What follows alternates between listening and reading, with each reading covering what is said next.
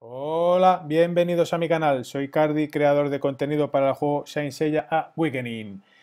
Hoy voy a hacer un breve vídeo sobre las noticias del mantenimiento del servidor de mañana.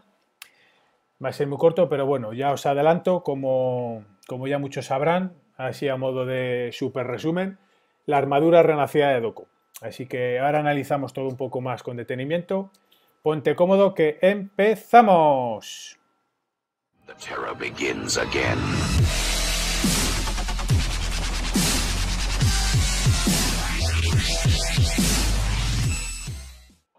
Bueno, vamos a empezar eh, primero con las noticias, porque ahí nos han contado un poco las noticias que, mm, que va a haber con las novedades del juego de esta semana y luego, pues como nos tienen acostumbrados últimamente GT Arcade, una especie de preguntas y respuestas que nos dejan más dudas que resolvernos preguntas, la verdad. Así que vamos a empezar con la, con la primera noticia, ¿vale? Nada, sigue la convocatoria de la diosa Atena SS, ¿vale? Hasta el día 5 de mayo. Eh, dicen que no va a volver al pool de convocatoria, así que si no la sacamos ahora, habrá que esperar hasta, hasta la próxima, que no sabemos cuándo será, pero podemos prever que sea pues seguramente para pues igual agosto o septiembre, calculo yo, pero vamos, ni idea. Luego, lo más importante y lo que, nos, y lo que más nos interesa, sale la armadura renacida de cuatro personajes, ¿vale? Esta semana vienen cuatro. Por un lado viene Doko, por otro lado viene Iki de Fénix, el Iki normal, el Iki de dólar o Iki de euro, que llaman algunos, eh, Nachi y Yabu, ¿ok? Así que vamos a ver un poco, eh, os voy a explicar un poco lo que hacen las armaduras renacidas, ¿vale? Por un lado, la armadura de Doko se centra en, en esta, en la de los 100 dragones, que lo que hace su armadura renacida sería que si Ahora dice que lanza cuatro dragones azules. Cada dragón inflige un porcentaje de daño físico a un enemigo. Doko tiene, obtiene un espíritu de tigre. Hasta cuatro espíritus puede alcanzar cada vez que usa el arma. Al lanzar los 100 dragones, todos los espíritus de tigre se transformarán en cantidad correspondiente a dragones azules. Al alcanzar al objetivo de tigre máximo, los 8 dragones azules se centrarán en atacar al objetivo principal. Es una especie de tequedaria, pero ya sabemos que podemos seleccionar un objetivo principal. ¿Ok? Vale. Los dragones azules que no hayan atacado en el momento de la muerte del objetivo principal atacarán a objetivos aleatorios. Quiere decir que si el objetivo principal muere, el resto de dragones va a atacar a otros. Vale, pues la armadura renacida lo que nos va a hacer es que en caso de que el objetivo no muera, ¿vale? Si nosotros lanzamos los 100 dragones y el objetivo no muere, va a lanzar otro ataque de 100 dragones a todos los enemigos a la vez. O sea, sería como hacer dos ataques. Así que es una renacida bastante poderosa, que la verdad que en la versión china vuelve a meter a Doko en el meta. De hecho, se coloca en unas posiciones bastante buenas, así que creo que para los que tienen un poco trabajado a Doko y le tienen subido, les va a venir a las mil maravillas. Bien. Vale, la armadura de Iki de Fénix renacida sería este, ¿vale? La, habilidad que renace sería la de brasas, ¿vale? Ahora dice que Iki de Fénix tiene una probabilidad de un porcentaje de dejar cenizas al morir. Las cenizas reciben un 10% de salud de Iki de Fénix e Iki revive de las cenizas en la siguiente ronda con un 30% de salud. Solo puede revivir una sola vez. Vale, pues en el caso de la armadura renacida, ¿vale? Eh, eh, renace hasta dos veces, en vez de solo renacer una vez por batalla, puede renacer hasta dos veces y renacería con un 80% de su vida.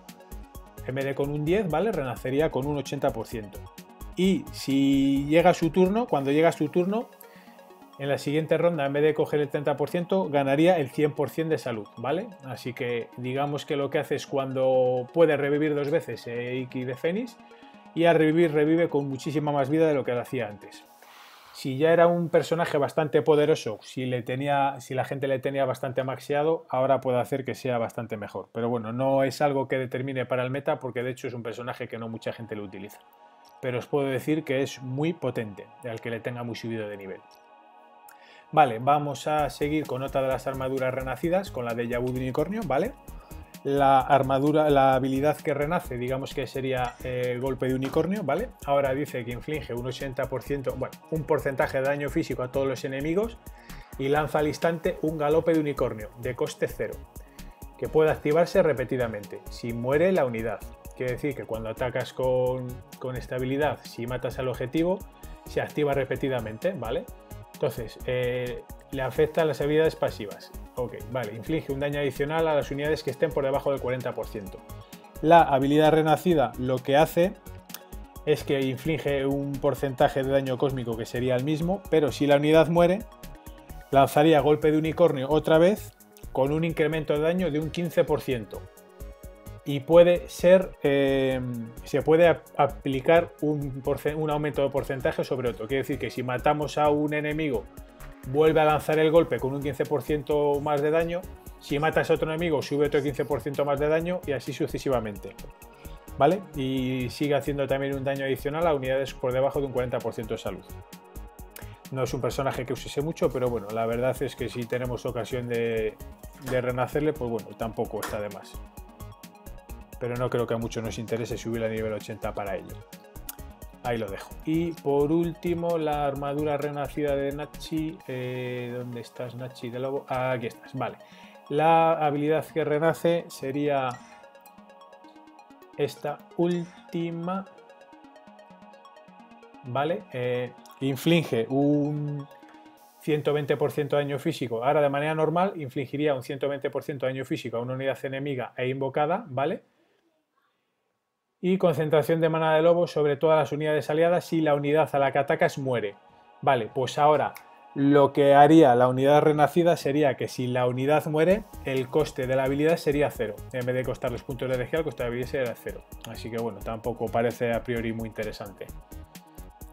Y perfecto, hasta ahí el tema de armaduras renacidas. Ok, como hemos dicho antes, la armadura renacida de Doko, de Iki de Fénix, Iki de dólar o Iki de euro, el que se compra en la tienda, la armadura renacida de Yabu y la de Nachi.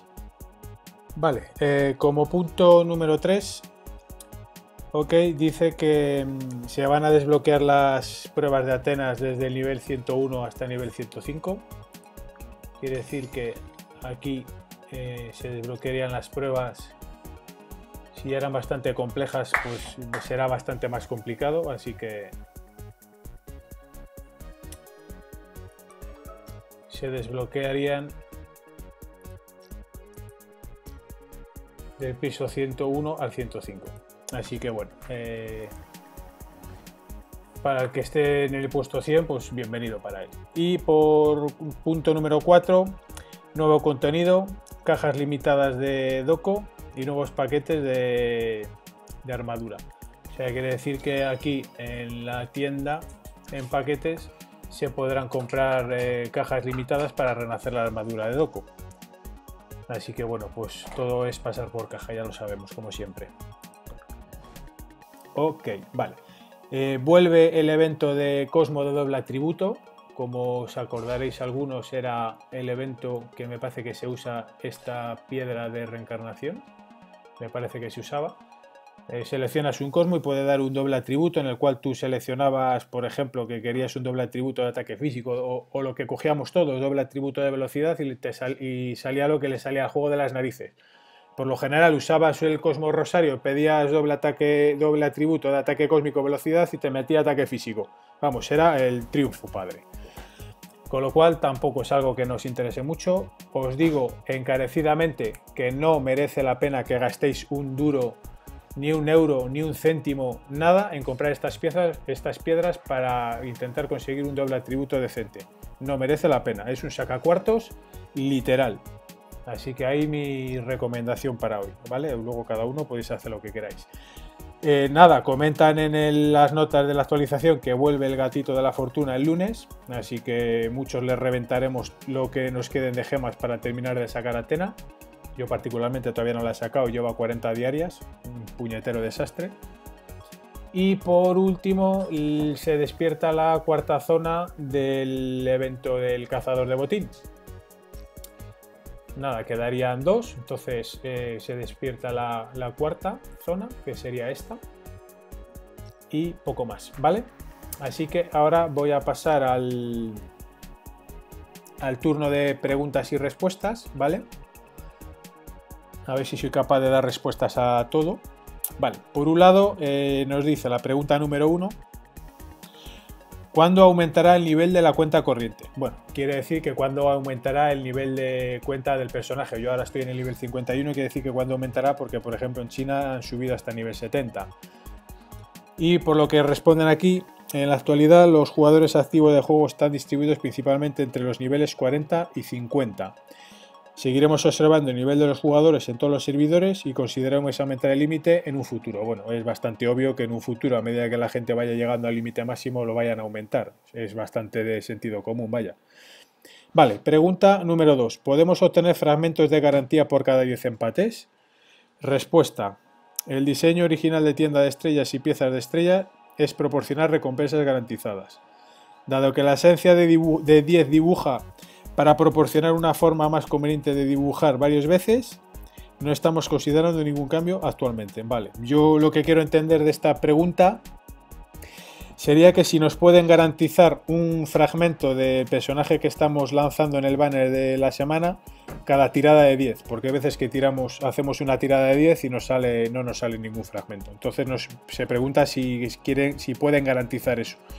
Y ellos consiguen, bueno, ellos así, de manera breve diré la respuesta, es que no, no van a garantizar eso. Ellos consideran que ya hay bastante recompensa con la, con la tienda de estrellas, con esta, con la que se canjea con las piedras azules, ¿vale? Consideran que es bastante recompensa esa como para meter un fragmento a mayores, vamos, que no sé, no creo que se hagan mucho daño. Eh, a modo de resumen, y os recomiendo a todos que todo el dinero que tengáis le gastéis siempre en fragmentos de tomo azul. No compréis personajes porque no merecen la pena. Los personajes acaban saliendo, pero es más valioso los fragmentos de libro azul que el personaje que compréis. ¿Vale? Os recomiendo eso. Vale, seguimos con la, con la siguiente pregunta. Eliminarán o ajustarán el premio de participación de la Legión de Asalto. Ahora necesitamos 1000 puntos para reclamar recompensa. Respuesta. Actualmente no estamos considerando hacer cambios en el asalto de Legión. Debe ser que preguntan que si va a haber algún cambio relativo en el asalto de Legión y la respuesta es que no. Van a dejarlo tal cual está. Vale, pregunta número 4. El modo de asalto de Legión es relativamente aburrido. Espero ver más interesante el juego de Legión o volver a la guerra de legiones. Vamos, hay gente que se queja que el asalto de legiones es aburrido y que si se plantea volver a la guerra de legiones. La respuesta que nos dan es que el asalto de legión fue diseñado para ofrecer mejores recompensas que la guerra de legiones, que en un futuro van a realizar una encuesta a ver si se regresa a la guerra de legión o se continúa con el, con el asalto de legión. A mí particularmente me gusta más el asalto de legión que la guerra porque aporta un evento que es un poco más semanal y la verdad es que a los comandantes nos exprime un poco más el cerebro a la hora de poner las habilidades a los golems, así que particularmente me parece más entretenido que la guerra. Pero bueno, ahí lo dejo. Eh, pregunta número 5, por favor, arreglen los logros del santuario. El logro actual requiere que los jugadores usen o no usen santos específicos para completar el desafío, y los jugadores que ya han terminado el desafío no pueden completar el logro. Y respuesta, vamos a arreglar esto en la actualización de seguimiento. Por favor, estén atentos a las para actualizar los anuncios. La verdad es que no sé a qué se refiere esta pregunta, si tiene alguna relación con el pabellón de tesoro, porque la verdad es que me tiene un poco en duda. No sé, no sabría dar una respuesta o una, o una explicación a esa pregunta porque no tengo ni idea. Vale, y luego como último, que ya muchos tenemos ganas, es que cuando se va a lanzar la dificultad de la dificultad Gran Maestro de Espacio Astral y nos comentan que va a ser liberada a lo largo del mes de mayo. Así que nada, esperamos que la liberen pronto porque para el octavo sentido es el mayor logro que tenemos de, obtener piezas para despertar el octavo sentido.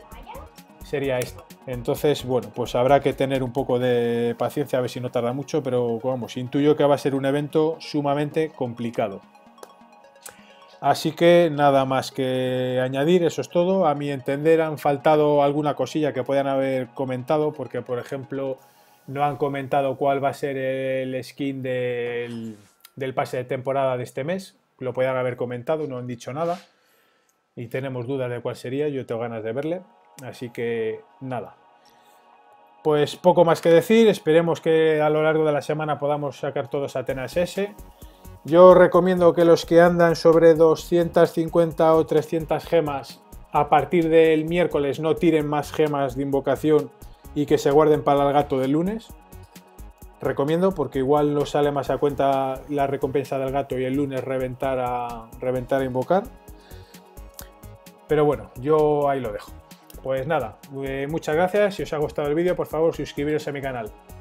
Un saludo. The terror begins again.